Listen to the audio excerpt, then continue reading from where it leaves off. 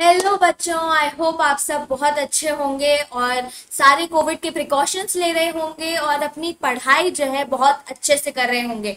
क्यों? क्योंकि half yearly exams आ रहे हैं, जिनका नाम सुनते ही हमारा जो ब्लड प्रेशर है वो बहुत इंक्रीज हो जाता है टेंशन आने लगती है और बहुत तरह के थॉट्स आते हैं बट हमें बिल्कुल भी डरने की ज़रूरत नहीं है। बिकॉज़ हम अन अकेडमी के साथ पढ़ रहे हैं और Unacademy is the largest learning platform in India the biggest learning platform in India जहाँ पे आप पढ़ रहे हैं टॉप एजुकेटर्स से।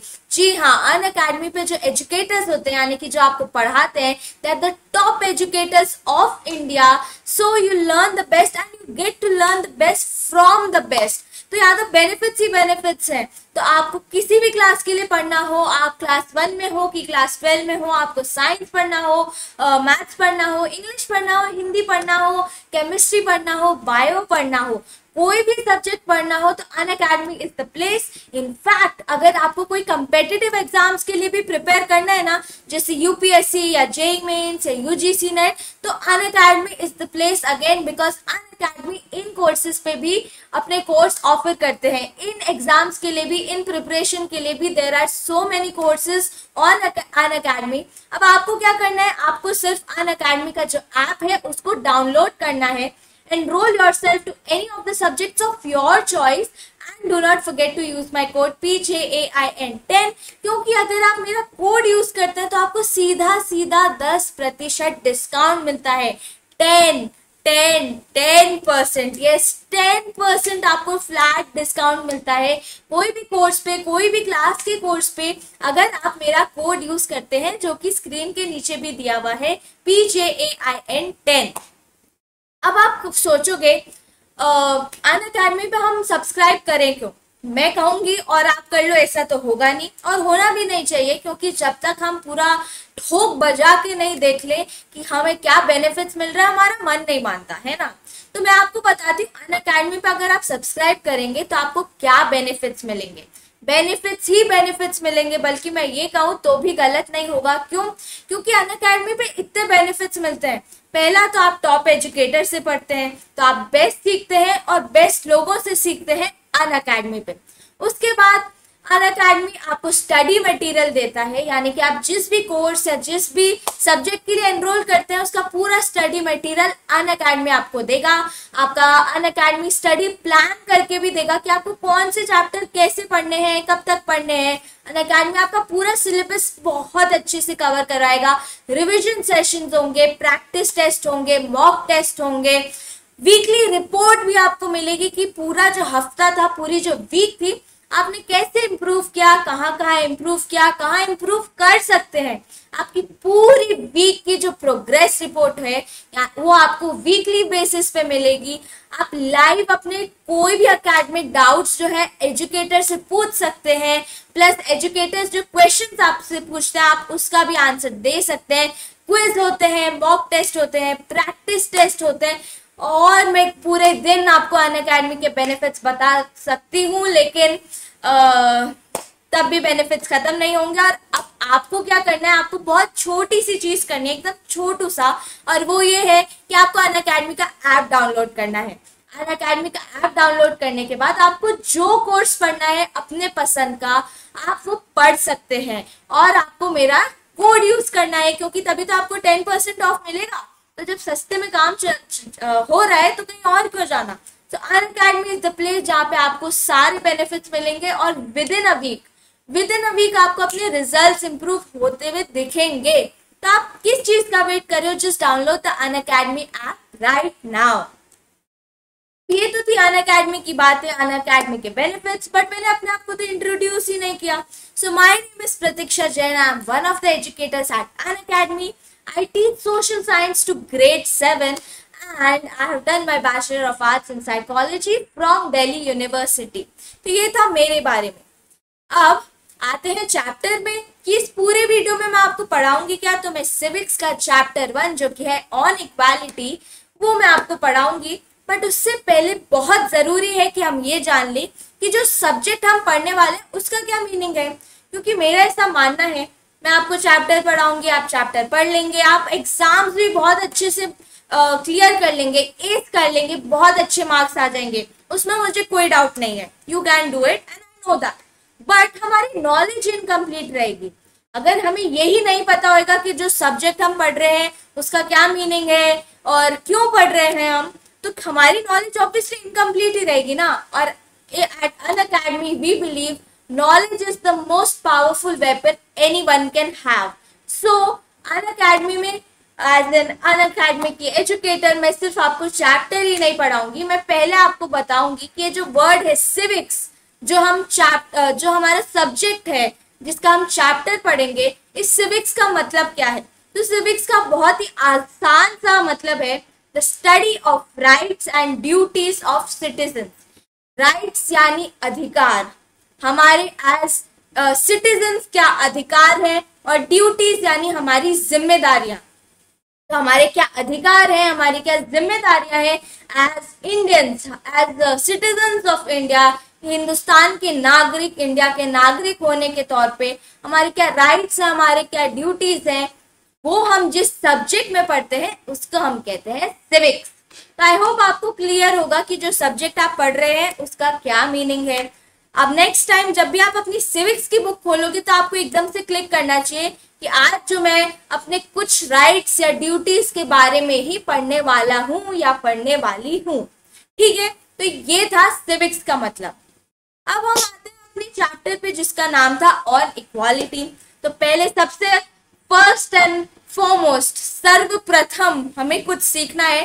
तो हमें पहले ये जानना होगा कि ये जो टर्म है इक्वालिटी इसका मतलब क्या है? है ना? क्योंकि अगर हमें टर्म ही नहीं पता होगा कि पूरा चैप्टर किस बारे में है, और हम पढ़ भी लेंगे तो ऑब्वियसली कोई सेंस नहीं बनता ना कि हमें इक्वालिटी नहीं पता और हमने पूरा चैप्टर पढ़ लिया। हमें यही नहीं पता रामायण में राम कौन थे और हमने पूरी रामायण पढ़ ली। तो एकदम बहुत इलॉजिकल लगता है ना, एकदम कोई सेंस सेंस ही नहीं है इस बात का। तो ऑब्वियसली पहले हम पढ़ेंगे इक्वालिटी क्या है। एक लाइन आई एम श्योर आपने सबने सुनी होगी। इनफैक्ट पहले की क्लासेस में आपने पढ़ी भी होगी। Every individual is equal before the law हर व्यक्ति हर इंसान कानून के आगे समान है। Every individual is equal before the law but किस वे में इक्वल हमने कह दिया equal before the law everyone is equal you are equal I am equal before the law but ये इक्वल किस वे में? इक्वल किस you you know know, uh, किस बेसिस पे हम कह रहे हैं कि everyone is equal so equal in terms of status rights and opportunity means equality हमारा स्टेटस हम कौन सी पोजीशन पे है? हमारी क्या क्लास है? हम समाज में किस स्टेटस को होल्ड करते हैं? हमारे क्या अधिकार हैं? और हमारी जो अपॉर्चुनिटीज़ है, यानी कि ये जो अधिकार है, हमें कितने मिलते हैं? हम कितने यू नो नई नई चीज़ें को अवेल कर सकते हैं जो हमारी अपॉर्चुनिटीज़ हैं वो कितनी है उस बेसिस पे हम इक्वल हैं और इसका मतलब है कि एवरीवन आप भी मैं भी हम सब का जो इक्वालिटी है that is in terms of status rights and opportunity so the state of being equal in terms of status, rights and opportunity means equality. अब इस इक्वालिटी से होता क्या है? और क्यों हमें इक्वालिटी चाहिए? तो हमें इक्वालिटी इसलिए चाहिए क्योंकि जब इक्वालिटी होगी, जब सब समान होंगे, जब सब इक्वल होंगे तो कोई डिस्क्रिमिनेशन नहीं होगा, कोई भेदभाव नहीं होगा। धर्म के बेसिस पे रिलीजन के बेसिस पे कोई भेदभाव नहीं होगा। रेस एंड कास्ट यानी कि जाति के बेसिस पे कोई भेदभाव नहीं होगा। जेंडर यानी कि लिंग के बेसिस पे भी कोई भेदभाव नहीं होगा। जब कोई भेदभाव नहीं होता तो उस स्टेट को हम, अगर मैं आसान शब्दों में कहूँ, आसान डेफिनेशन में कहूँ तो जब कोई डिस्क्रिमिनेशन कोई भेदभाव नहीं है तो उस स्टेट को हम कहते हैं इक्वालिटी और जो कानून है, जो लॉ है इंडिया का, या जो कॉन्स्टिट्यूशन है, यानी कि जो हमारी इंडिया की जो रूल बुक है, जिसमें सारे रूल्स एंड रेगुलेशंस सारे लॉज लिखे हुए हैं, उस कॉन्स्टिट्यूशन में लिखा है that every individual is equal before the law आप भी इक्वल हैं, मैं भी इक्वल हूँ, जो हमारे देश के प्रेसिडेंट हैं, वो भी एक इक्वल इंसान है before the law so that is what equality means अब इस इक्वालिटी के जो idea that everybody is equal before the law उसी का, उसी के आइडिया के बेसिस पे एक और आइडिया है, जिसका नाम है यूनिवर्सल एडल्ट फ्रेंचाइज जो हमने सिक्स स्टैंडर्ड में भी पढ़ा था बट थोड़ा सा हम रिकैप करते हैं रिकॉल करते हैं कि ये क्या था। तब इक्वालिटी तो हमने समझ लिया कि everybody is equal before the law in terms of status rights and opportunity no one should be discriminated on the basis of the religion caste gender etcetera but इस इक्वालिटी का आइडिया जो है the idea of equality है समानता का जो एक idea है इसी का एक एक्सटेंशन आप कह सकते हो, इसी का एक एक्सटेंडेड पार्ट आप कह सकते हो यूनिवर्सल एडल्ट फ्रेंचाइज अब ये क्या कहती है? ये ये कहती है कि जो हमारी इंडियन डेमोक्रेसी है, जो भारतीय लोकतंत्र है, उसमें जितने भी एडल्ट हैं, अब एडल्ट कौन होते हैं? एडल्ट जो भी 18 साल या 18 साल से ऊपर हैं, यानी 18 साल की जो एज है, उससे ऊपर के लोग हैं, उससे बड़े लोग हैं, वो सब all of them are allowed to cast their vote यानी कि जब भी इलेक्शंस होते हैं तो 18 और 18 साल से ऊपर के लोग अपना वोट डाल सकते हैं। Irrespective of their religion educational qualification caste status कुछ भी एवरीबडी इज़ इक्वल हर कोई वोट डाल सकता है। यानी कि आप कौन से धर्म से हो, ये कोई मैटर नहीं करता। आप कितने पढ़े लिखे हो, आप ट्वेल्थ पास हो, या फिर आप बहुत हाईली क्वालिफाइड एमबीए या कुछ और बड़ी डिग्री होल्ड करते हो, कुछ फ़र्क नहीं पड़ता। इफ़ यू आर 18 और above age of 18 then you have the right to vote आप अपना जो है मतदान कर सकते हैं, आप वोट डाल सकते हैं। अभी तो आप बहुत छोटे हैं अभी आप कितने, टेन टू ट्वेल्व ईयर्स के होगे सेवन स्टैंडर्ड में sorry eleven to twelve years के बीच में कुछ एज होगी आपकी।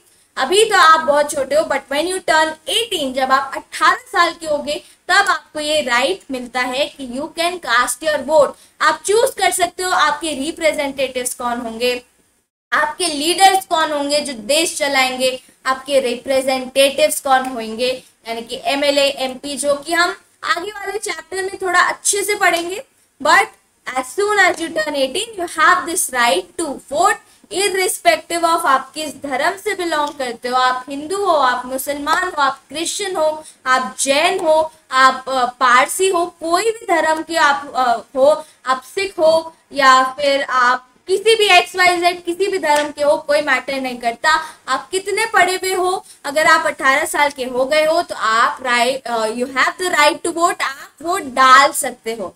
तो that is whole idea of universal adult franchise एक इक्वालिटी का जो आइडिया है, उसी का एक्सटेंशन है, हम कह सकते हैं, उसी के आइडिया पे ये ये आइडिया बेस्ड है। It is based on the idea of equality I hope universal adult franchise का जो सब कुछ है, आपको बहुत अच्छे से समझ आ गया होगा। इनफैक्ट ये आपने सिक्स स्टैंडर्ड में पढ़ा भी है। थोड़ा सा याद करो बच्चों, सब याद आ जाता है। बट हमने अब हम सोचेंगे और अब हम समझेंगे कि हमने इक्वालिटी की बात की यूनिवर्सल एडल्ट फ्रेंचाइज की बात की, हमारा कॉन्स्टिट्यूशन कहता है everybody is equal before the law but क्या हम सच में इक्वल हैं? Do we really believe in equality क्या हम ये जो समानता का जो हमारे कॉन्स्टिट्यूशन में लॉ बन गया कि एवरीबडी इज़ इक्वल क्या हम इस पे बिलीव भी करते हैं? Is everyone really equal तो मैं क्या करूँगी? मैं आपसे कुछ क्वेश्चंस पूछूँगी जो कि हमारी डे टू डे लाइफ से जुड़े हुए हैं। आपको क्या करना है? आपको खुद को ही आंसर देना है। मुझे तो आप आंसर कर नहीं सकते क्योंकि प्री रिकॉर्डेड वीडियो है। तो आपको क्या करना है? ये एक सेल्फ एनालिसिस है। आपको खुद की ही जो सिचुएशन है आसपास, वो एनालाइज करनी है। और फिर हम पूछेंगे कि क्या हम सच में इक्वालिटी में बिलीव करते हैं? और क्या सच में सब लोग इक्वल हैं? तो मैं कुछ क्वेश्चन आपको पूछूँगी और आपको येस और नो में खुद को ही आंसर करना है, ताकि आपको पता चले क्या हम सच में इक्वल हैं और क्या इक्वालिटी सच में एग्जिस्ट करती है। तो मेरा पहला क्वेश्चन जो डे टू डे लाइफ से ही जुड़ा हुआ है, वो ये है कि डज योर सर्वेंट और house help sit on the same sofa और चेयर वेर यू सिट और do this sit on the floor मतलब कहने का मतलब ये है कि आपके घर में जो सर्वेंट्स हैं, जो हाउस हेल्प है यानी कि आपकी जो मेड है या कोई, आपके घर में कोई कुक आता है या फिर घर में कोई गार्ड है, या फिर आप, हो सकता है आपके ही पेरेंट्स किसी दूसरे घर में ऐसे काम कर रहे हो, वो सर्वेंट हो किसी घर में या ड्राइवर हो या कुक हो। तो आपको सिर्फ़ इतना सा अपने आप से पूछना है कि जो आपके घर के जो ऐसे सर्वेंट्स हैं क्या वो सेम जगह पे बैठते हैं? क्या वो सेम चेयर पे बैठते हैं? क्या वो सेम सोफे पे बैठते हैं? जहाँ आप लोग बैठते हो? या फिर आपसे बात करते हुए वो ज़मीन पे बैठते हैं और आप सोफे के ऊपर बैठे हुए होते हो? ये क्वेश्चन आपसे ही है तो आप अपने यस और नो खुद को ही आंसर करो। And 90 percent of the cases में जो सर्वेंट्स है in fact 95 percent of the cases में जो सर्वेंट्स है या हाउस हेल्प है हमारी, जो हमारे घर के कामों में हेल्प करते हैं, वो उस जगह पे नहीं बैठते जहाँ हम लोग बैठते हैं। हम अपर क्लास वाले लोग जहाँ बैठते हैं या जहाँ आप लोग बैठते हो, वो वहाँ नहीं बैठते। वो मोस्ट प्रोबेबली जब आप लोगों से या घर के मालिक से बात कर रहे होते हैं तो वो ज़मीन पे बैठते हैं और जो घर के लोग होते हैं, वो चेयर या सोफे पे बैठते हैं। तो एक हायरार की होती है यू नो know, आप ऊपर बैठ रहे हो और आपके सर्वेंट्स नीचे बैठ रहे हैं। अभी इक्वालिटी है कि नहीं वो तो आपको खुद को आंसर करना है येस और नो में कि ये जो सिचुएशन ये जो क्वेश्चन मैंने पूछा ये क्या सच में सही है? क्या आपके घर में ये अप्लाई होता है? मेरा आपसे दूसरा क्वेश्चन डज योर सर्वेंट और house help eat and drink in the same plate और ग्लास एज यू और do they have separate cutlery यानी कि इसका ये मतलब है कि आपके घर में जो सर्वेंट्स हैं या आपके घर में जो हाउस हेल्प है, जो आपको घर के काम में जो हेल्प करते हैं, क्या वो सेम प्लेट में खाते हैं, क्या वो सेम ग्लास में पानी पीते हैं, जिनमें आप या आपकी फैमिली मेंबर्स खाते हैं? या फिर आपके घर में उनके लिए सेपरेट कटलरी है, यानी कि सेपरेट चम्मच प्लेट ग्लास अलग रखी हुई आपकी मम्मी या दादी ने या पापा ने, जो भी आपके घर में हेड है, उन लोगों ने क्या एक सेपरेट कटलरी इन लोगों के लिए रखी हुई है? Again 95 percent of the case में इसका आंसर भी होगा यस कि सर्वेंट और हाउस हेल्प के लिए हमारे घर में एक अलग कटलरी है, अलग प्लेट है, अलग ग्लास है, अलग स्पून है, जिसमें वो लोग खाते हैं। जो प्लेट्स में हम खाते हैं वो लोग उसमें नहीं खाते हैं। अगर ऐसा आपके घर में नहीं होता है तो एक एक्सेप्शनल केस हो सकता है। मैं ये नहीं कह रही कि हर घर में यही होता है बट एक एक्सेप्शनल केसेस हो सकते हैं। But 95 percent of the cases में 95 परसेंट ऑफ़ द घर में जो भी अपर क्लास है, जो भी अमीर लोग हैं, या इवन अपर मिडिल क्लास है, वहाँ पे सर्वेंट्स के लिए अलग ग्लास और प्लेट होती है। अगर थर्ड क्वेश्चन अब आपसे पूछूँ कि have your parents ever ask you to be friends with children of a particular community और to avoid being friends with children from a particular community कहने का मतलब ये है कि क्या आपके पेरेंट्स ने कभी आपको ऐसा कहा है कि बेटा या बेटी, तुम उसी कम्युनिटी के दोस्त या उसी धर्म के दोस्त लोगों को अपना दोस्त बनाओ। या एक पर्टिकुलर कम्युनिटी या पर्टिकुलर धर्म के लोगों को अपना दोस्त मत बनाओ। Well sixty percent of the cases में ऐसा होता है कि parents do say and parents do decide कि आपके फ्रेंड्स कौन होंगे। और अगर वो किसी पर्टिकुलर रिलीजियस कम्युनिटी के हैं तो हो सकता है वो कहेंगे कि इस कम्युनिटी के लोगों को अपने दोस्त मत बनाओ या इस पर्टिकुलर कम्युनिटी के लोगों को ही अपना दोस्त बनाओ। ये हो सकता है, ज़रूरी नहीं है आपके पेरेंट्स बोलते हो बट ज़्यादातर आज भी रूरल एरियाज़ में, यानी कि जो छोटे गाँव है या छोटे टाउन है, वहाँ पे पेरेंट्स बोलते हैं अपने बच्चों को कि एक पर्टिकुलर धर्म पर्टिकुलर कम्युनिटी के लोग, बच्चों को ही अपना दोस्त बनाओ।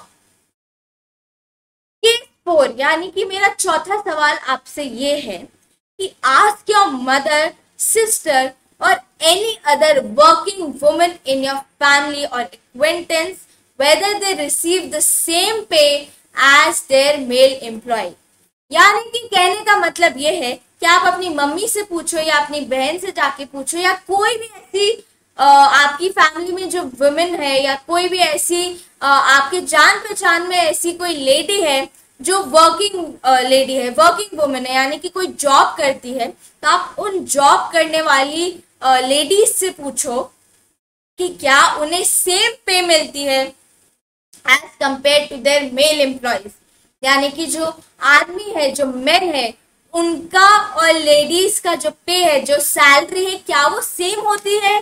गिवन वो दोनों सेम काम कर रहे हैं।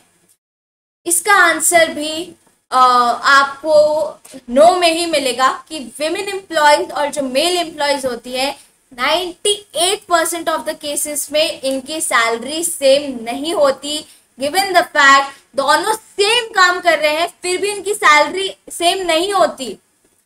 तो अब मैं आपसे पूछती हूँ हमने इक्वालिटी पढ़ा हमने ये पढ़ा कि कॉन्स्टिट्यूशन के according everybody is equal before the law we cannot discriminate anyone on the basis of their religion caste gender uh, status but इस इन चार क्वेश्चन जो मैंने आपसे पूछे इनके बाद क्या आपको लगता है क्या हमारे आसपास सच में इक्वालिटी है?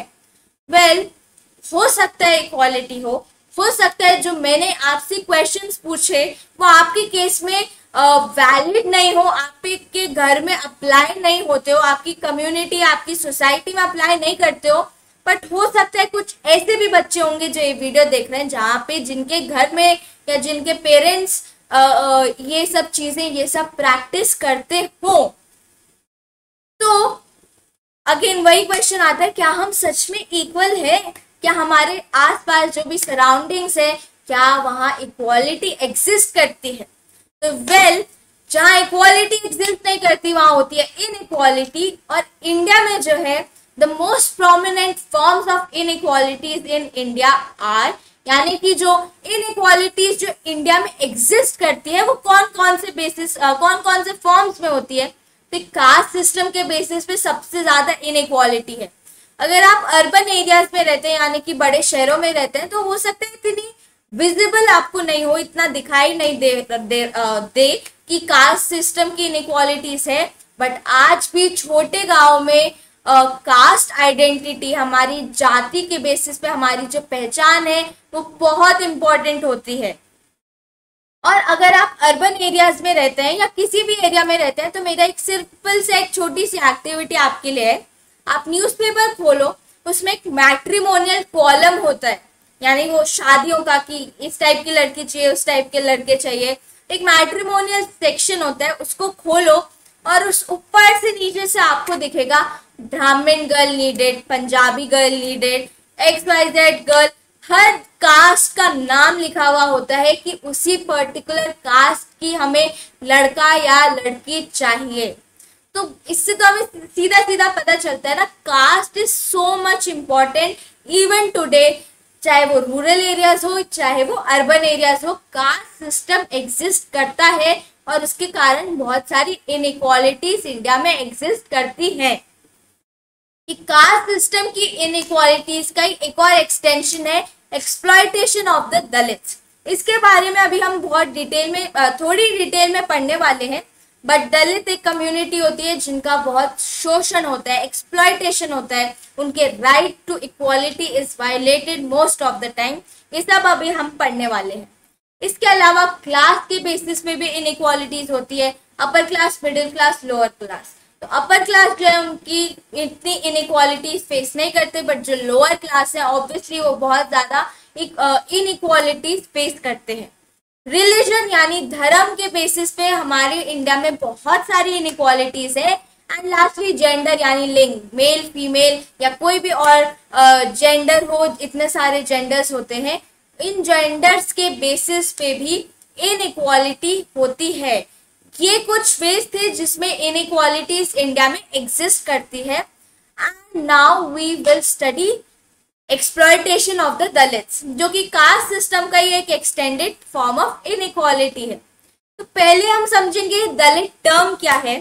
So Dalit is a term which the lower caste use to address themselves यानी कि कहने का मतलब ये है कि जो लोअर कास्ट वाले लोग होते हैं they use a specific term for themselves जिससे वो खुद को आइडेंटिफाई करते हैं और जिससे वो चाहते हैं कि दूसरे लोग भी उनको आइडेंटिफाई करें और उस टर्म का उसका जिससे लोग आइडेंटिफाई करते हैं जिससे उनकी कास्ट आइडेंटिटी मालूम पड़ती है वो टर्म है दलित।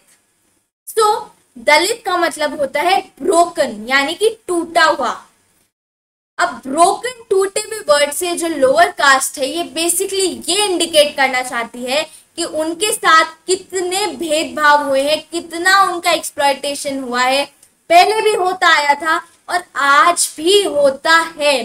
तो एक दलित टर्म से लोअर कास्ट बेसिकली ये इंडिकेट करना चाहते हैं कि कितना how much they have been discriminated over the years कितना दे हैव बीन एक्सप्लॉयटेड कितने उनके जो राइट्स हैं जो uh, अधिकार हैं वो वायलेट होते हैं ऑन डेली बेसिस तो Dalit is basically a term जो लोअर कास्ट यूज़ करते हैं to address themselves and to indicate all forms of discrimination which they have faced in life अब ऐसे ही एक बहुत फ़ेमस दलित राइटर थे, जिनका नाम था ओम प्रकाश वाल्मीकि।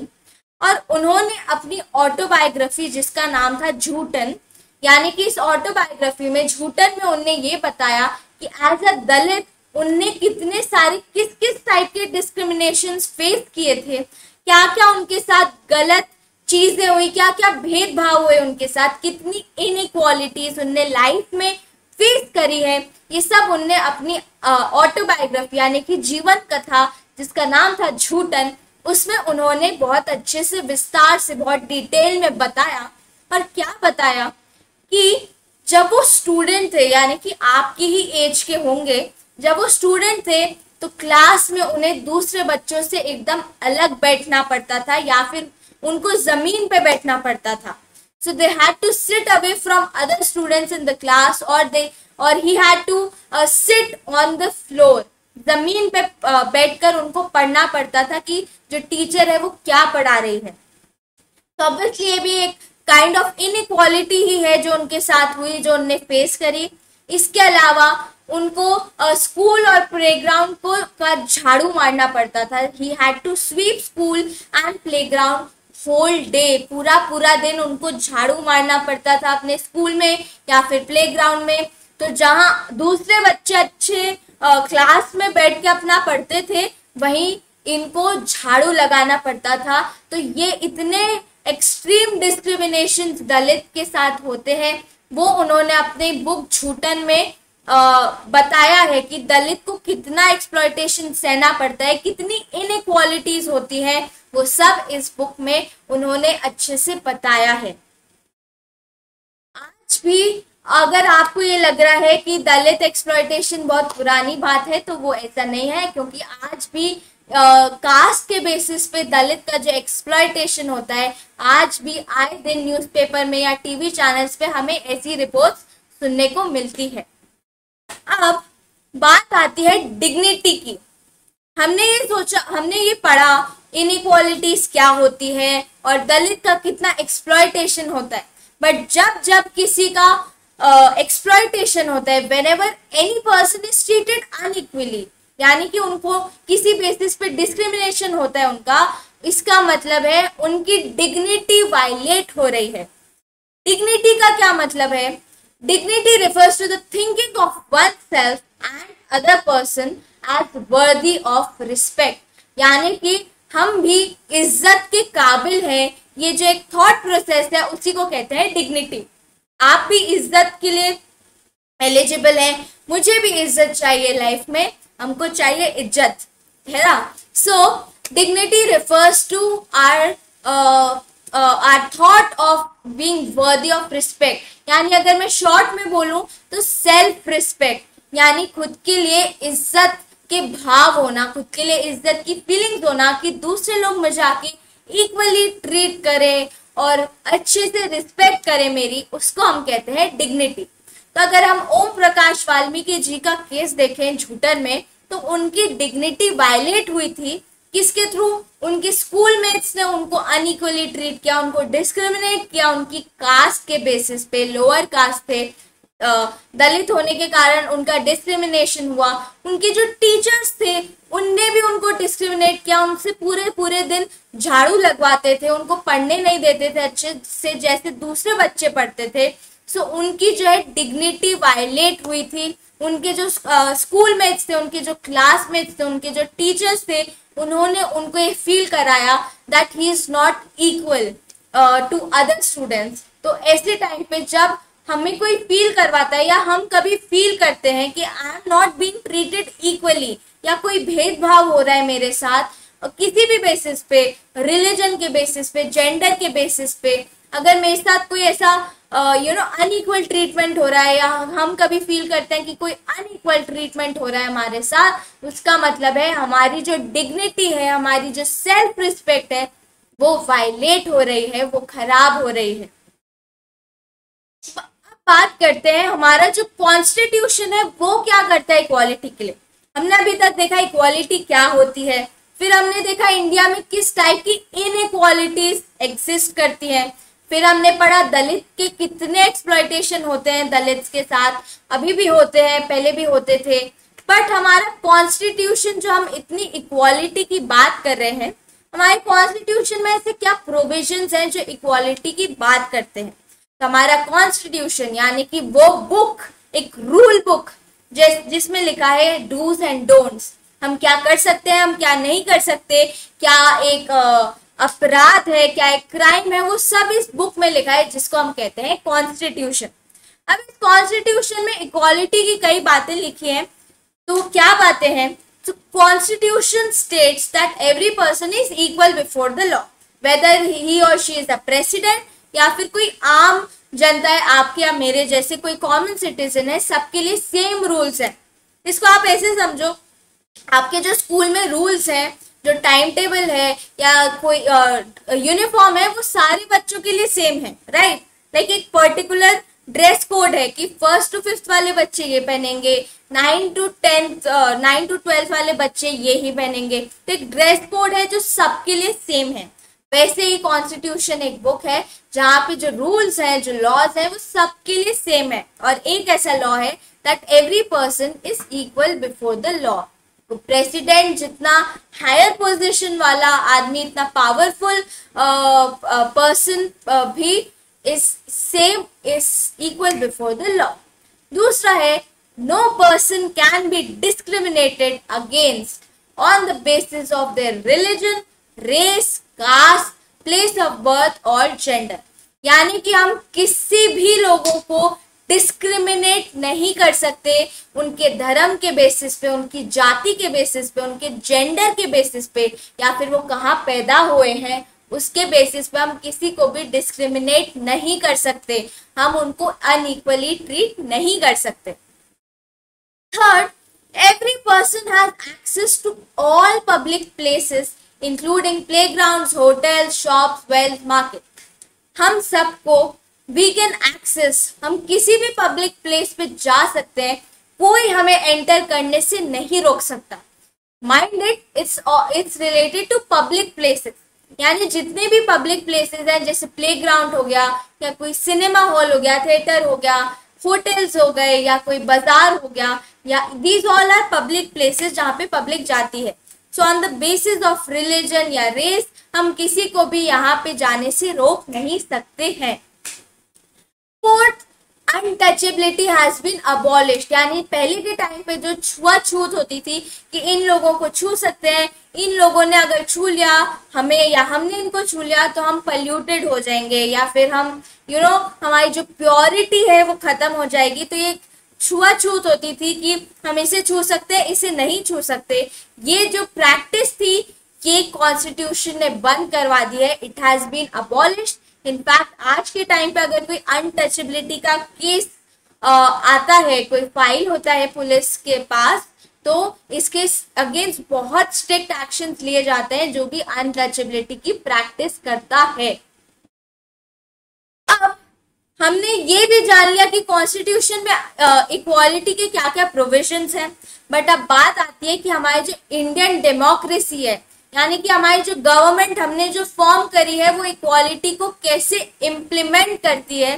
तो government implements equality two ways पहला लॉ एंड दूसरा गवर्नमेंट प्रोग्राम है स्कीम लॉ मतलब कानून. तो गवर्नमेंट कानून जो है, वो अच्छी तरीके से एनफोर्स हो रहा है कि नहीं हो रहा है, ये इंश्योर करती है।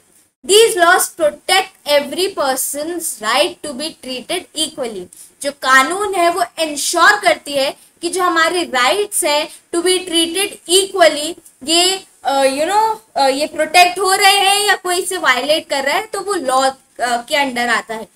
दूसरा वे है गवर्नमेंट के प्रोग्राम्स या schemes government time to time ऐसी स्कीम्स निकालती है which try to improve the life of the disadvantage communities यानी जिनके साथ अनइक्वल ट्रीटमेंट हो रहा है या जिनका शो, शोषण होता है उन लोगों के लिए गवर्नमेंट स्कीम्स निकालती है ताकि एक इक्वालिटी जो है मेंटेन हो सके।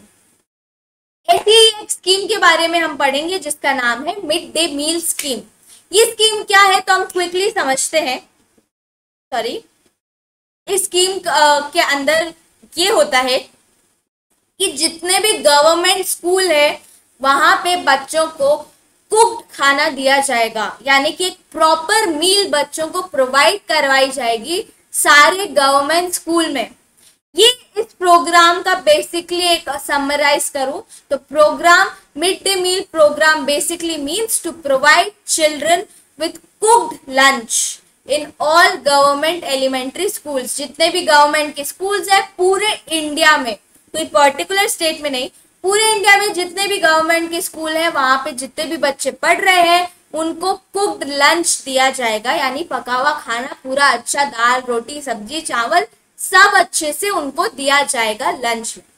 Tamil Nadu was the first state जहाँ पे ये स्कीम पहली बार इंट्रोड्यूस की गई थी। जैसे ही तमिलनाडु में ये स्कीम इंट्रोड्यूस की गई थी कि सब गवर्नमेंट स्कूल के बच्चों को लंच दिया जाएगा 2001 में सुप्रीम कोर्ट ने कहा कि नहीं तमिलनाडु नहीं, पूरे इंडिया में जितने भी स्टेट्स हैं, वहाँ पे हर जगह ये स्कीम फॉलो होनी चाहिए। और 2001 में सुप्रीम कोर्ट ने कहा कि छः महीने के अंदर सभी गवर्नमेंट स्कूल्स में ये स्कीम लागू होनी चाहिए। हर गवर्नमेंट स्कूल में ये प्रोग्राम इनिशिएट करना चाहिए कि हर बच्चे को कुक लंच दिया जाएगा सारे गवर्नमेंट स्कूल में। प्राइवेट स्कूल की बात में, मैं नहीं करी गवर्नमेंट स्कूल की बात कर रही हूँ। इस स्कीम को तो हमने समझ लिया मिड डे मील स्कीम और क्या होता है वो भी हमने समझ लिया बट इसके बेनिफिट्स क्या है? जब कोई स्कीम गवर्नमेंट लाई है तो उसकी कुछ बेनिफिट सोच समझ के ही तो लाई होगी कि क्यों स्कीम को लाए, कैसे कम्युनिटीज एडवांटेज कर सकती है इससे? तो इस स्कीम के कुछ पॉजिटिव इफेक्ट्स हुए। पहला ये हुआ कि poor children began enrolling and regularly attending school जो गरीब बच्चे थे, वो स्कूल आने लगे। पहले जो था, गरीब बच्चे इतना स्कूल नहीं जाते थे। बट जब उन्हें पता चला कि फ्री में लंच मिलेगा और अच्छा खाना मिलेगा तो ज़्यादा और ज़्यादा बच्चे स्कूल आने लगे। उन्होंने अपना स्कूल में दाखिला करवाया एडमिशन करवाया and they started regularly attending the school तो इससे क्या हुआ? अटेंडेंस जो थी बच्चों की, वो बहुत इम्प्रूव हो गई, सबको एजुकेशन मिलने लगी। इसके अलावा जो कास्ट प्रेजुडिस थे, यानी कि जाति के बेसिस पे जो भेदभाव थे, वो बहुत कम हो गए बिकॉज़ सारे बच्चे जो थे सारे बच्चे जो थे, वो एक साथ बैठ के खाना खाते थे। इनफैक्ट जो खाना बनता था, वो कभी कभी जो दलित वेमेन थी, यानी कि दलित औरतें ही ये खाना बनाती थी। तो पहले जो हमने पढ़ा कि कास्ट के बेसिस पे दलित के जो एक्सप्लॉयटेशन होते थे, या कास्ट के बेसिस पे जितने भी डिस्क्रिमिनेशन होते थे, वो सारे काफ़ी कम हो गए बिकॉज़ बच्चे सब एक साथ बैठ के खाते थे। सारे जितनी भी मील्स मिलती थी, वो सब एक साथ बैठ के खाते थे। और कुछ स्कूल में ऐसा भी होता था कि जो खाना बनाते थे, वो दलित विमेन खाना सारे बच्चों के लिए प्रिपेयर करती थी। अब इससे एक बहुत अच्छा बेनिफिट ये हुआ कि जो पहले जो भूखे बच्चे थे, जिनको पहले खाना नहीं मिलता था वो सब अब पेट भर के पहले खाना खाते थे और फिर अच्छे से पढ़ाई करते थे। क्योंकि खाली पेट तो हमसे वैसे ही पढ़ाई नहीं होती है। हो सकता है अभी आप मेरा ये वीडियो देख रहे हो तो आपके हाथ में चिप्स का पैकेट हो और आप आराम से वीडियो देख रहे हो या आपकी मम्मी ने लाके कुछ आपको लंच दे दिया और आप आराम से वीडियो देख रहे हो। बिकॉज़ खाली पेट तो हमसे पढ़ाई होती ही नहीं है। किसी से भी नहीं होती है। मुझसे भी नहीं होती, आपसे भी नहीं होती होगी, है ना? तो इससे जो है लोग बच्चों की जो भूख थी वो काफ़ी कम हो गई और क्योंकि उनको भूख नहीं थी तो वो अच्छे से पढ़ते थे। Reduced hunger of poor students who earlier could not concentrate on studies because of empty stomachs started paying more attention जब आपका पेट भरा हुआ होता है जब पेट में खाना होता है ना तो कंसंट्रेशन और ज़्यादा अच्छे से होता है। मैम क्या पढ़ा रही है? वो बहुत और ज़्यादा अच्छे से समझ आता है।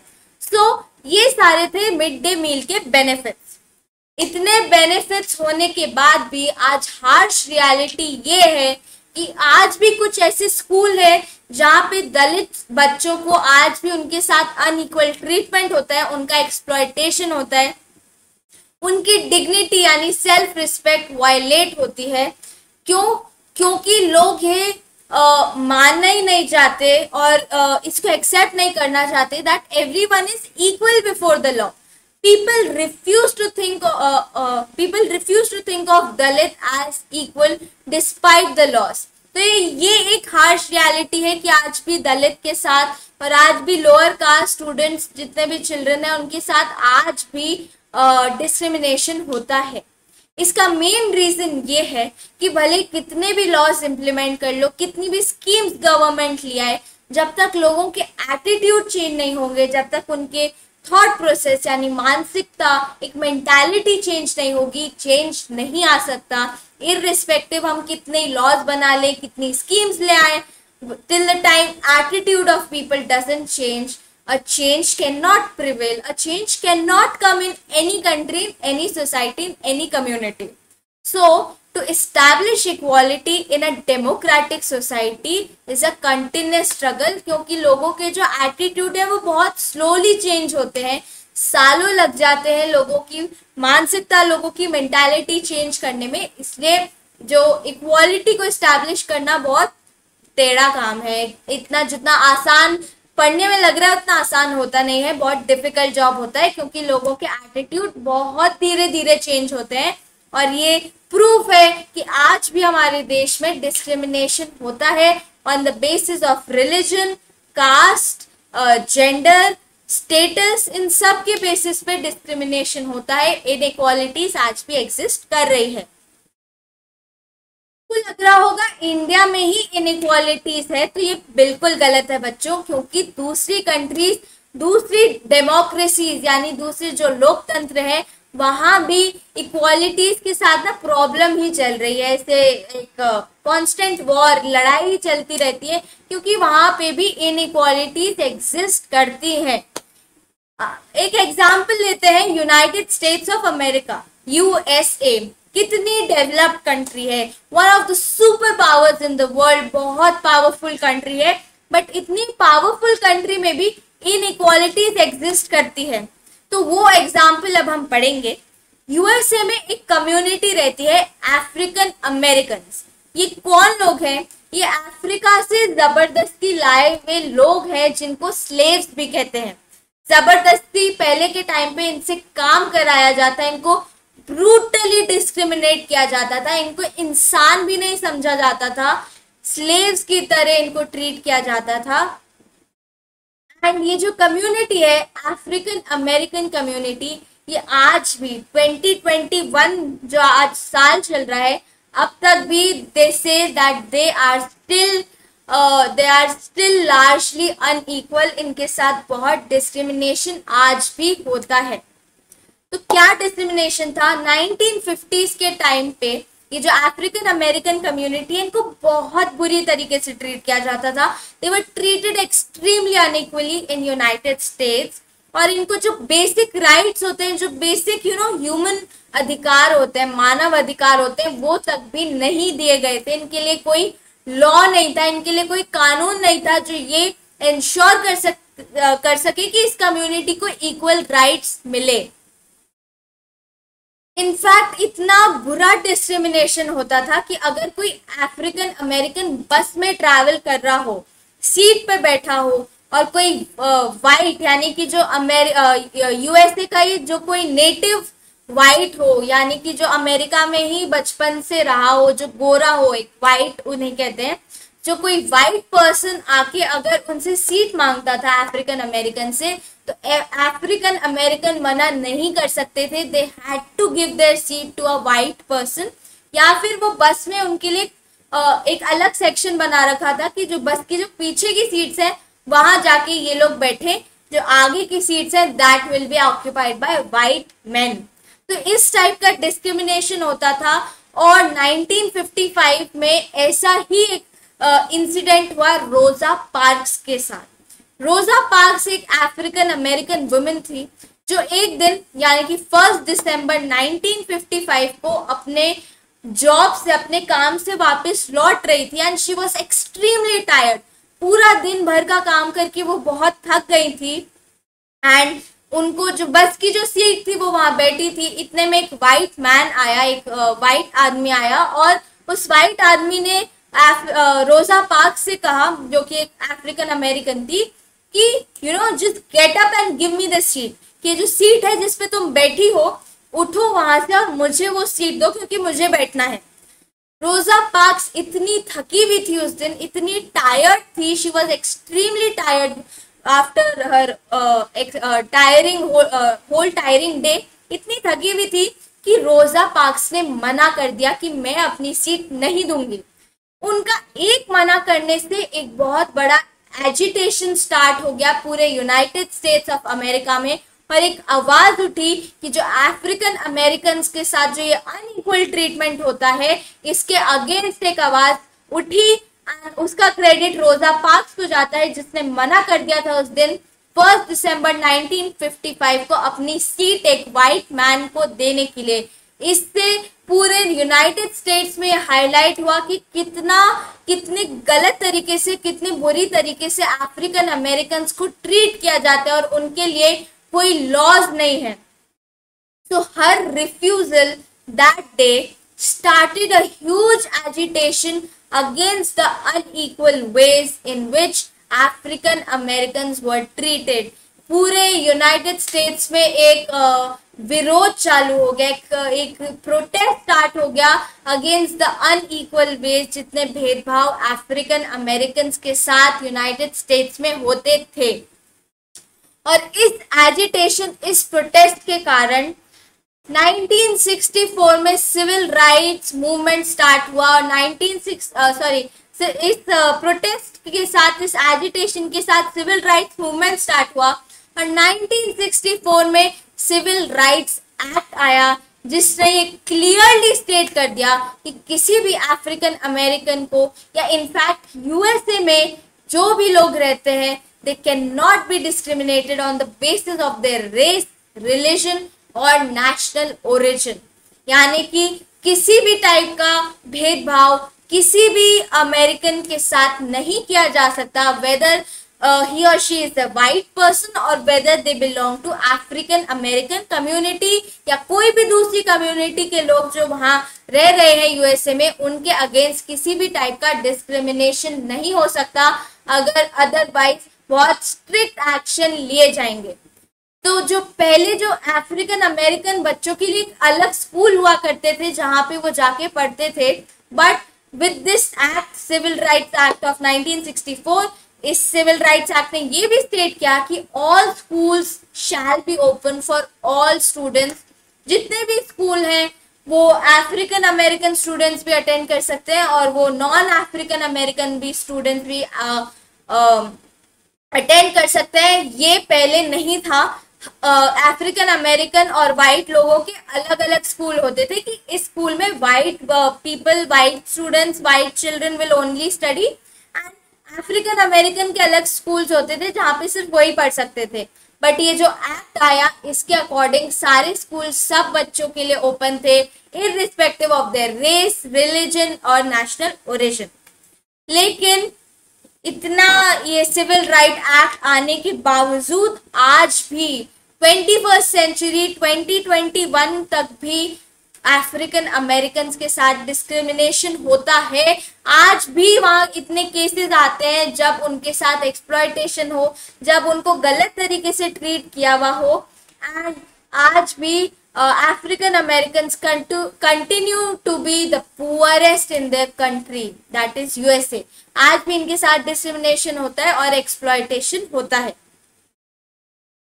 तो सिविल राइट्स मूवमेंट से बहुत प्रोटेस्ट हुआ था, जिसके कारण 1964 में आए civil rights act.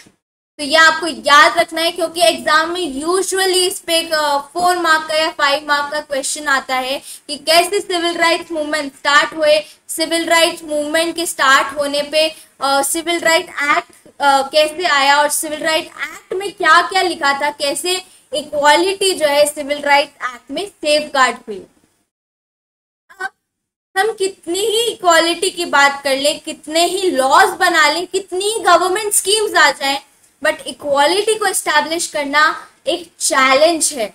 No country can be described as completely democratic यानी कि इंडिया हो या यूएसए हो, किसी भी कंट्री को हम पूरी तरह से डेमोक्रेटिक नहीं बोल सकते, क्योंकि कुछ कम्युनिटीज या कुछ इंडिविजुअल्स या कुछ ग्रुप्स ऐसे होते हैं जो हमेशा इस आइडिया को एक्सपैंड करना चाहते हैं they want more and more inclusivity they keep pushing this idea of equality की ताकि जो इक्वालिटी है वो बहुत और ज़्यादा यू नो हर कोई इक्वल फील कर सके एंड uh, और ज़्यादा इस आइडिया को हम एनलार्ज कर सके बड़ा कर सके। So there are always communities और इंडिविजुअल्स जो इक्वालिटी को जो है एक्सपैंड करना चाहते हैं एक्सटेंड करना चाहते हैं डेमोक्रेसी में।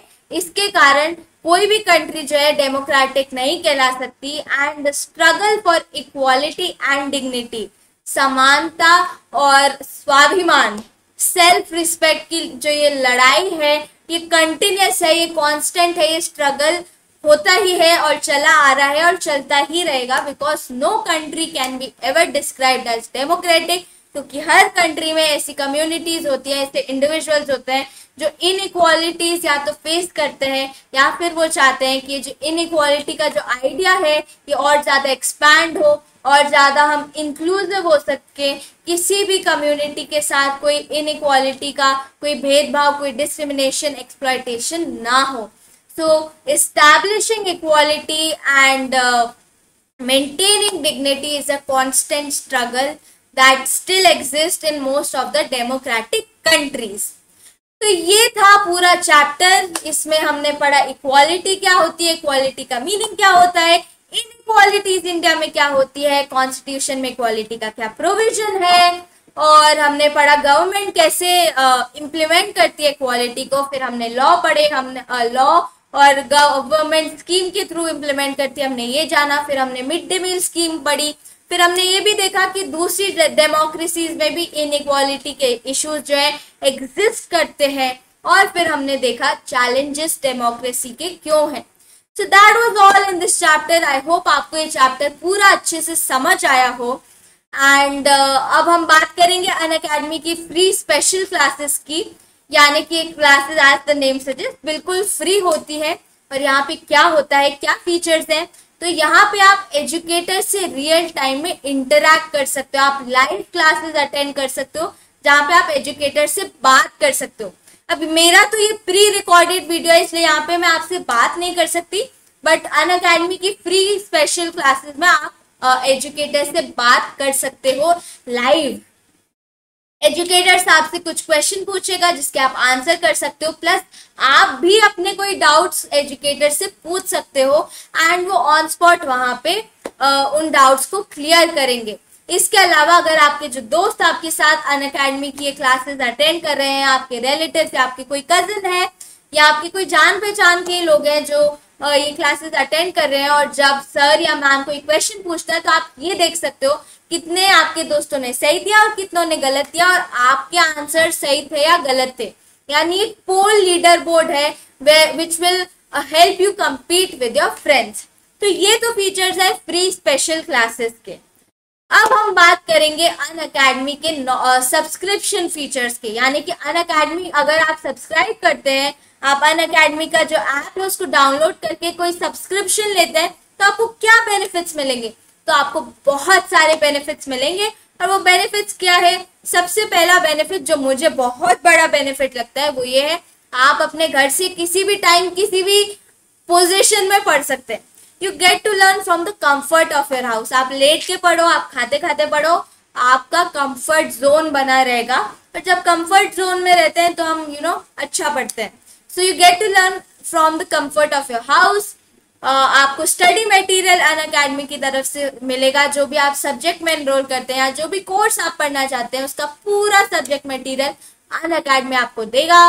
प्लस जैसा मैंने पहले बताया था स्टार्ट में you get to learn from the top educators one of the finest educators of India जो कि बहुत हाईली क्वालिफाइड है अपने अपने फील्ड्स में। आपको रेगुलर डाउट क्लियरिंग सेशंस होते हैं, जैसे आप फ़िज़िकल क्लास में मैम से मैम मैम करके क्वेश्चंस नहीं पूछते वैसे आप एजुकेटर से लाइव क्वेश्चंस पूछ सकते हैं, अपने सारे अकेडमिक डाउट्स को क्लियर कर सकते हैं। अन अकेडमी आपका पूरा सिलेबस बहुत अच्छे से कवर करता है। प्रैक्टिस टेस्ट होते हैं ताकि आप एनालाइज कर सके अपनी परफॉर्मेंस लाइव टेस्ट होते हैं जो कि एकदम आपको एग्ज़ाम वाली फीलिंग देगी, जहाँ पे एकदम लाइव आपको सारे आंसर्स देने होते हैं। आपको एक पर्स मेंटोर मिलता है जो आपको गाइड करता है कि कैसे कोर्स को कवर करना है, कैसे नहीं करना है, कैसे हम इम्प्रूव कर सकते हैं अपनी परफॉर्मेंस मैं तो बेनिफिट बताते बताते ही थक चुकी हूँ। और आपको जो करना है, आपको अन अकेडमी का सब्सक्रिप्शन लेना है। प्राइजेस आपके स्क्रीन पे दिए हुए हैं। अलग अलग पैकेजेस हैं। Twenty four month eighteen month fifteen month twelve month six month अलग अलग पैकेजेस हैं। आपको जो पैकेज सूट करता है अपनी रिक्वायरमेंट के अकॉर्डिंग आप कोई भी पैकेज ले सकते हैं और आप अगर स्क्रीन के एकदम एक्सट्रीम साइड पे देखेंगे तो वही प्राइस आपको टेन परसेंट डिस्काउंट के बाद दिख रहे होंगे। और ये टेन परसेंट कैसे मिलेगा? कैसे मिलेगा? तो जैसा मैंने स्टार्टिंग में बताया था यार, अगर आप मेरा कोड यूज़ करोगे P J A I N ten अगर आप मेरा कोड यूज़ करोगे तो आपको सीधा सीधा टेन परसेंट मिल जाएगा फ्लैट टेन परसेंट तो किसका वेट कर रहे हो? इतने सारे बेनिफिट्स मैं आपको बता चुकी हूँ। इतना आपको यू नो एक गारंटी मैं देती हूँ कि एक वीक के अंदर आपको अपने रिजल्ट्स इंप्रूव होते हुए दिखेंगे। Maximum fifteen days results improve होते हुए दिखेंगे तो अगर आपको अच्छे मार्क्स चाहिए हैं, अगर आपको if you want to be the best in the class if you want to be the best तो अन अकेडमी पे अभी सब्सक्राइब करो because you get to learn from the best at Unacademy इसके अलावा होता है एक और सब्सक्रिप्शन जिसे कहते हैं आइकॉनिक सब्सक्रिप्शन अब आइकॉनिक सब्सक्रिप्शन क्या और वो नॉर्मल सब्सक्रिप्शन क्या? तो इसको एक एग्ज़ाम्पल से समझो। वो ये कि सपोज़ आपको फ़्लाइट में ट्रैवल करना हो। अब फ़्लाइट में बिज़नेस क्लास भी होता है और नॉर्मल इकोनॉमिक क्लास भी होता है। अब जाना तो प्लेन तो दोनों को सेम ही डेस्टिनेशन पे बैठाएगा। या फिर प्लेन भी बहुत थोड़ा प्रिविलेज हो गया। ट्रेन की बात करो। ट्रेन में जनरल डब्बा भी होता है एक एसी वाला भी होता है एसी में भी first AC second AC third AC होता है। है ना? होता है ना? ट्रेन में तो हम सबने ट्रैवल किया ही होगा। तो ट्रेन में जाना तो हमें एक ही जगह है। अब हम जनरल में बैठ के जाए या एसी में, क्या फ़र्क पड़ता है? फ़र्क पड़ता है और फ़र्क है हमारे कंफर्ट का। तो एसी वाले कोचेस ज़्यादा कंफर्टेबल होंगे। फ़र्स्ट एसी का कोच सबसे ज़्यादा कंफर्टेबल होगा as compared to general general डब्बे के जो भी कंफर्ट्स होते हैं तो वैसे ही अगर आप आइकॉनिक सब्सक्रिप्शन लेते हैं तो आपको और ज़्यादा बेनिफिट्स मिलेगा और कंफर्ट लाइफ में आएगा और लग्जरीज मिलेगी। तो नॉर्मल सब्सक्रिप्शन से क्या ज़्यादा फीचर्स मिलेंगे? तो आइकॉनिक सब्सक्रिप्शन में आपको एक पर्सनल मेंटोर मिलेगा, यानी कि एक पर्सनल फ्रेंड जैसा एक मेंटोर मिलेगा जो आपको अच्छे से गाइड करेगा कि कैसे आप प्रोग्रेस कर सकते हैं Uh, कैसे यू you नो know, आप अपनी परफॉर्मेंस इंप्रूव कर सकते हैं। बेसिकली आपको एक लाइफ टाइम फ्रेंड मिल जाएगा आर अकेडमी की तरफ़ से। यहाँ पे लाइव डाउट सेशन होंगे यानी कि लाइव जैसे जैसे आप पढ़ रहे हो वैसे वैसे आपको जो भी डाउट्स आ रहे हैं अकेडमिक डाउट्स वो सब आप क्लियर करते हुए जा सकते हो। इसके अलावा आपको वीकली रिपोर्ट्स मिलेंगी, यानी कि पूरे वीक में आपने कैसा परफॉर्म किया, कैसे और बेटर परफॉर्म कर सकते थे या कहाँ कहाँ आपने इम्प्रूव किया और अब कहाँ और इम्प्रूव कर सकते हो। तो ये पूरी एक एनालिसिस आपको आपकी पूरी वीक में, पूरे हफ़्ते में जितनी आपकी जैसी परफॉर्मेंस थी वैसे वैसे आपको हर हफ़्ते एक रिपोर्ट मिलेगी। पेरेंट और एजुकेटर का कनेक्ट होगा, यानी कि आपके पेरेंट्स के मन में इतने सवाल होते हैं। मेरा बच्चा आगे कौन सा स्ट्रीम ले, कितना पढ़े, ये तो पढ़ाई नहीं करता, ये कैसे अपने आप को इम्प्रूव कर सकता है, कैसे अच्छे से पढ़ाई कर सकता है, इसको हम और क्या क्या करवाएँ जिससे इसकी जो लर्निंग कैपेसिटी है, जो मेमोरी है या जो पर्सनालिटी है, वो इम्प्रूव हो सकती है। इतने सारे क्वेश्चंस हमारे पेरेंट्स को होते हैं। तो ये सारे क्वेश्चंस एजुकेटर्स जो है, एक पेरेंट्स टीचर मीटिंग आप इसे समझ लीजिए। एजुकेटर्स आपके पेरेंट्स के सारे डाउट सारे जितने भी उनकी क्वेरीज हैं, सब सॉल्व करते हैं। तो बच्चों की तो क्वेरी सॉल्व होती है पेरेंट्स की भी क्वेरीज यहाँ पे सॉल्व होती है। और अन अकेडमी का एक और जो मेन इंपॉर्टेंट फीचर है, वो है कि एक स्टडी प्लानर अन अकेडमी आपको बना के देगा। यानी कि इस दिन आपको कितने चैप्टर्स पढ़ने हैं? इस वीक में आपको कितने चैप्टर्स कवर करने हैं? क्या आपका टाइम टेबल होना चाहिए? पूरा एक आपका जो स्टडी है, पढ़ाई का पूरा एक प्लान बना के अन अकेडमी आपको देती है। तो इतनी मेहनत आज के टाइम पे कौन करता है यार? इतनी मेहनत तो हम अपने बच्चों पे भी नहीं करते। हमारे पेरेंट्स भी आजकल हम पे इतनी मेहनत नहीं करते बट अन अकेडमी इतनी मेहनत आप पे करना चाहता है। हम तैयार हैं मेहनत करने के लिए बट आपको क्या करना है? आपको सिर्फ़ ये सब्सक्रिप्शन लेना है और अलग अलग पैकेजेस जो है वो आपको स्क्रीन पे दिख ही रहे होंगे। Twenty four month eighteen month fifteen month twelve month six month और टेन परसेंट डिस्काउंट लेने पे क्या प्राइस है वो भी आपको स्क्रीन पे दिख रहे हैं अपने। कॉर्नर की तरफ़ स्क्रीन के कॉर्नर की तरफ़ ये टेन परसेंट कैसे मिलेगा? मेरा कोड यूज़ करने से मिलेगा जो कि है पीछे ए आई एन टेन अगर आप एक कोड यूज़ करते हैं तो आपको सीधा सीधा टेन परसेंट ऑफ़ मिलता है यार। तो किस चीज़ का वेट कर रहे हो? अन अकेडमी पे, अन अकेडमी का ऐप डाउनलोड करो enrol yourself to any course of your choice जितने कोर्सेज में एनरोल करना है एनरोल करो और मेरा कोड यूज़ करो और your journey towards perfection will start your journey towards being the best will start क्योंकि अन अकेडमी पे आप बेस्ट एजुकेटर से पढ़ते हो और आप बेस्ट कंटेंट पढ़ते हो। तो ऑब्वियसली इम्प्रूवमेंट तो हो। गई और अगर आपको ये वीडियो मेरा पसंद आया हो तो please please please like share and subscribe to our channel like this video share this video to amongst your friends relatives या सेम एज के जितने भी आपके लोग हैं जिन्हें आप जानते हो। और uh, सोचते हो कि ये वीडियो उनके लिए बेनिफिशियल होगा तो please share it with your friends and subscribe to our channel that is Unacademy channel अगर आपने बेल आइकन अभी तक हिट नहीं करा है तो please hit the bell icon as well ताकि आपको अन अकेडमी के एकदम नोटिफिकेशन और अपडेट सबसे पहले मिल सके। So that was all from my end thank you so much for staying tuned and watching this video towards the end together we can crack any exam so let's crack it with Unacademy thank you so much this was Pratiksha Jain and I hope आपको पूरा chapter clear होगा. Please like share and subscribe to this video and let's meet with next chapter साथ में पढ़ेंगे, अच्छे से पढ़ेंगे and will crack all our exams So let's crack it. Thank you so much.